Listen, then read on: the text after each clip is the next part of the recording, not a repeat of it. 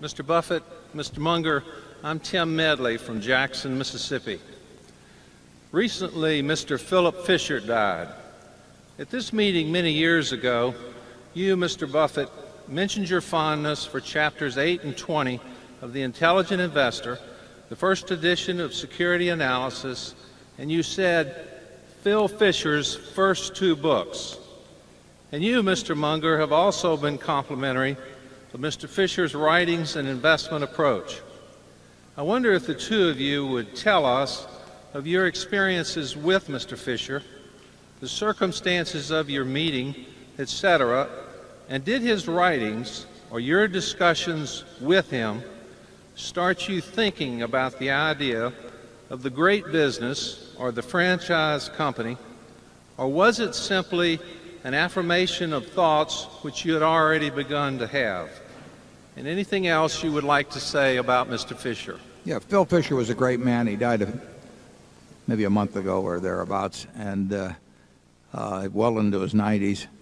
Uh, his first book, I, I, I believe it was Common Stocks and Uncommon Profits, was written in 1958, and the second book was written a few years later.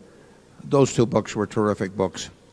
Uh, and as with Ben Graham, you could really get it all by reading the books. I met Phil Fisher just once, uh, and it was great. I enjoyed it. I loved it. He was nice to me. Uh, but similarly, actually, to my experiences with Ben Graham, where I worked for him, I took his class and everything else, it was in the books. I mean, they were such good writers, and their thoughts were so clear that you didn't need to meet them personally. I enjoyed meeting them personally, obviously, but, but they, they, they got it across in words. And uh, the only time I met Phil was sometime after that 1962 book, or whatever it was, 61 or 62. And I was in San Francisco. I think it was in the Russ building. I may be wrong on that. And I just, I just went there. I used to do that all the time when I was younger. And I'd go to New York and I'd just drop in on all kinds of people. And I guess they thought because I was from Omaha that, you know, one time and they'd be rid of me. So, and I would usually get in to see him. And uh, Phil, I did that with Phil. And it was extraordinarily nice to me. But uh, it wasn't that I gained new ideas, though, however, by meeting him, because I'd already read it in his, in, in his books. And Charlie actually, I met Charlie in 1959, and, and Charlie was sort of preaching the Fisher doctrine also to me, a little different form, but, but his ideas paralleled those of Phil. So I was sort of getting it from, from both sides and made a lot of sense to me. Uh, I don't know what Charlie's experiences were with Phil.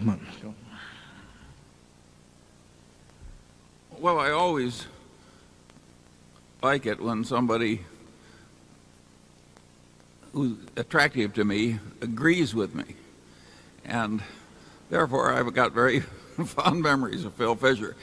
The basic idea of that it was hard to find good stocks and, and it was hard to find good investments and that you wanted to be in good investments and therefore you'd just find a few of them that you knew a lot about and concentrate on those seemed to me such an obviously good idea and indeed it's proved to be an obviously good idea yet 98% of the investing world doesn't follow it that's been good for us. It's been good for you. We'll go to uh,